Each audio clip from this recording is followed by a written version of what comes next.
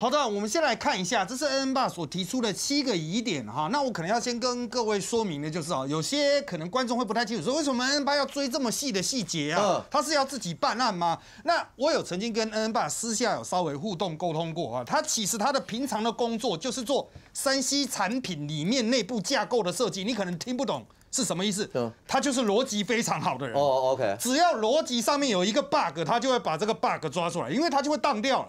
这个体系就会荡掉。OK，其实像刚刚敏凤所讲的那个，可能有些观众也不太清楚，什么同时积极哈。讲白一点，有个术语叫做必要条件，相对的叫做充分条件。新北市它的 SOP 是把联络卫生局当成必要条件，没有联络后面不会动。嗯，但是实际上中央呢，那只是充分条件啊。如果你送到医院去了，那么医那个卫生局要知道这件事情。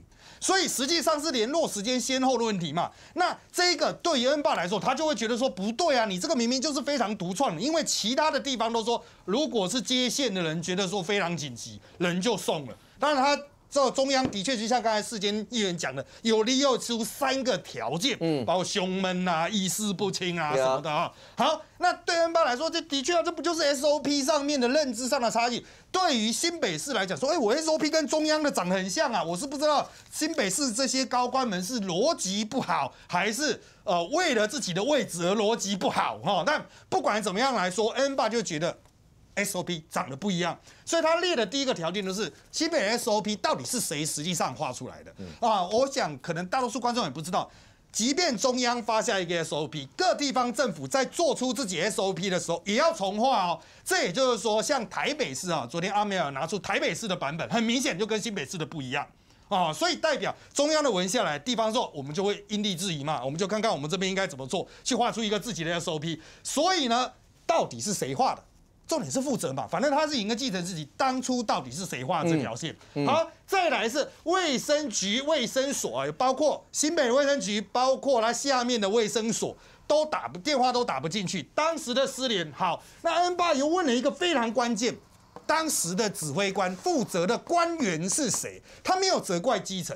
基层可能很忙，他就只有一个人。但重点是谁是当时在场卫生局的主事者？这个问的是什么意思呢？这也是我很常举的一个例子。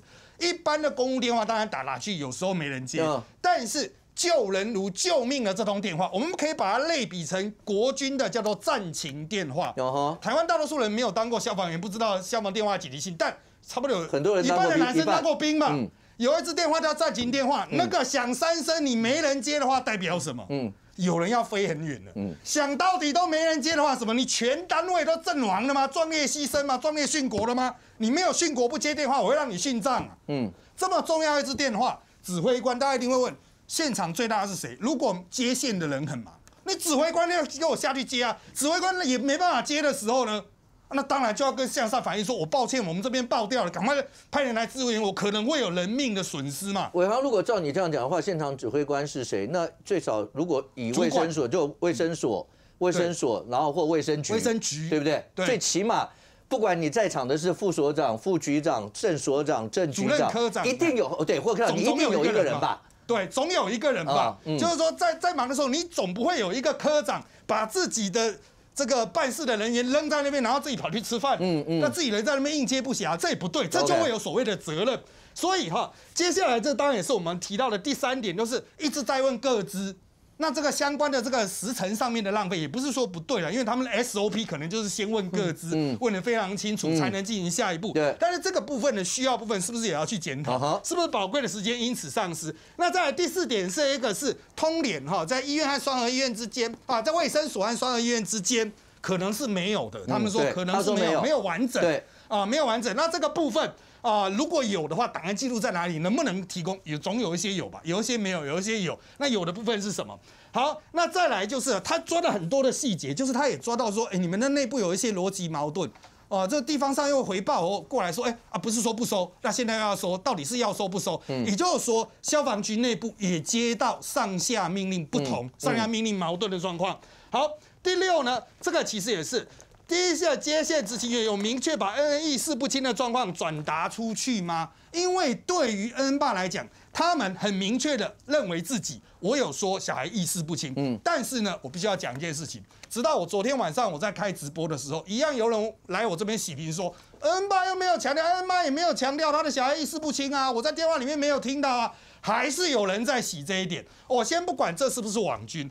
代表这样的一个讯息，就是哦，家长没有强调小孩意识不清啊，所以我们卫生消防单位没有快速处理啊，那也是家长的责任。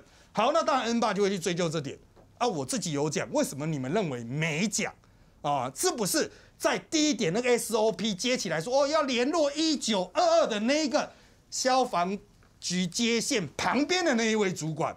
要去承担这个责任。好，那当然再下来，第一通电话已经知道人昏迷之后，为什么没有判断要紧急派车的处置？这个又回到第一点去了。所以你可以注意到，他的所有的东西，它其实是一套逻辑的，就是在整个过程中，你有很多的地方可以制造一个断点，把它这个悲剧给断掉。但是他就是串起来，嗯，啊，它就串起来。从一开始的 SOP 到卫生局没有人接电话，到双河医院说自己没有床，这环环相扣就造成这个问题。那当然要了解的话，又回到刚刚讲哈。不过现在 N 爸要的已经不单纯是当初四月下旬的这个新北市政府的调查，他要的是第一个新北市政府内部的行政调查。你们内部有据传是有一份行政调查，OK，有些人好像拿到部分的版本，包括有些要选议员的哈。那另外一个呢，就是。提供给这个指挥中心的 CDC 的啊，因为指挥中心说，哎，看了你们的报告，好像没有延误啊。好，那到底是怎么样没有延误？那也能不能把这一份东西交出来？那当然。这个新北市政府他可以主张说，哦，因为这个是我们做的报告，你可能不信，嗯啊，所以我们就是留待司法调查，哦，再来这个提供这样由交由第三方公证第三方。可是为什么你要先预设立场？嗯，如果 N 八是讲逻辑，你给的东西的逻辑是能够解释它所有断裂的环节。那也许问题就解决了。嗯，所以我认为哈，其实现在新北市的操作方法的确就是在拖，他用司法在拖，想把这个战线拉长，看看这个家长会不会啊，随着时间啊慢慢的淡化啊，外界呢随着时间慢慢淡化。但是侯友谊，我认为在政治上这边犯了一个很严重的错误。侯友谊到现在应该还是想要保消防局，还是想要保卫生局，而且不止保基层，他一路保到局长。嗯，但是在政治上，这搞不好是民进党。还更乐见的，我巴不得你保到十一月嘞。嗯，你原来搞我才有靶子可以一直打。对啊，就政治上，我当当然是希望你这两个两开一直上去，我就可以一直质疑啊。嗯，所以实际上这个也不是什么政治的问题。我必须要补一个最后的小故事。我第一次碰到 N 爸的时候，有国民两党的民代都在场。结束离开的时候呢，哦，国民党的是很快就也不能讲逃之夭夭，快速离场。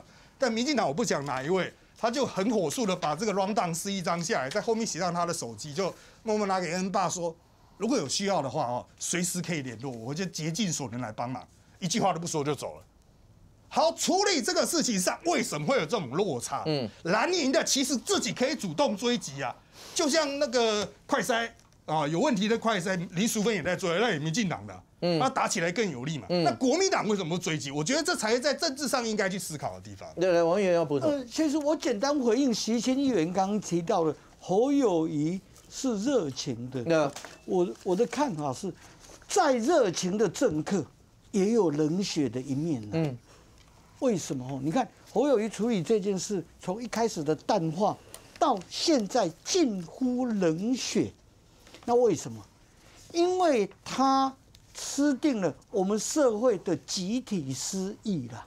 啊，我们为什么会他认定说我们的民众就是健忘的。嗯，所以他认为说啊，你在吵嘛，在吵，在社会再怎么吵，再怎么论这个事，他认为每一个新闻事件啊，都会有一。定的时间就淡化掉，因为我们的民众是健忘的，因为我们的社会会集体失忆。那侯友谊吃定了这一点，但是他的影响不是也是造成的吗？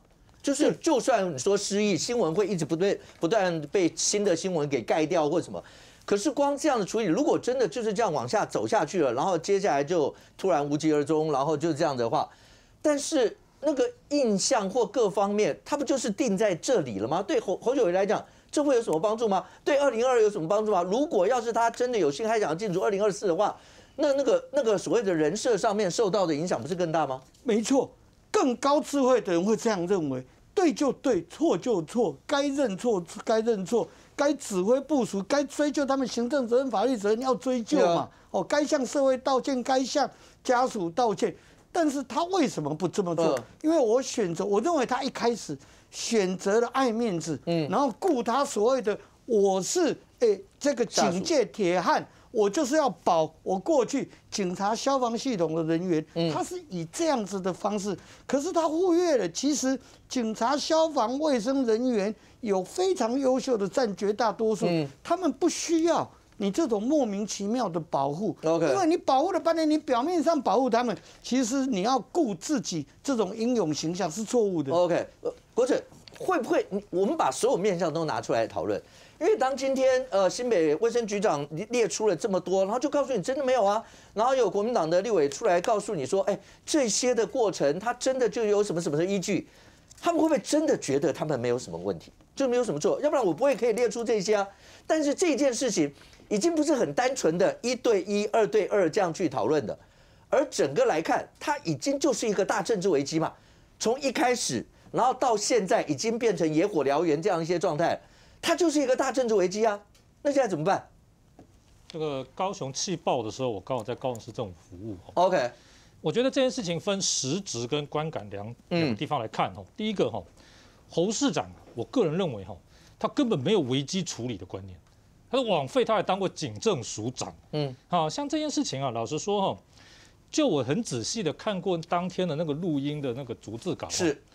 侯市长应该没有直接的责任，嗯，啊，这个对，所以他今天也很有把握说司法调查嘛，我相信他有直接责任渎职还是什么的可能性很低。有，那既然如此的话呢，他其实危机处理的先决条件甚至说他面对面的跟 N 八沟通，至就算不要道歉，至少你面对面沟通，人家觉得你这个诚意是有的，嗯，然后你在这沟通的过程中，我会仔细下去调查。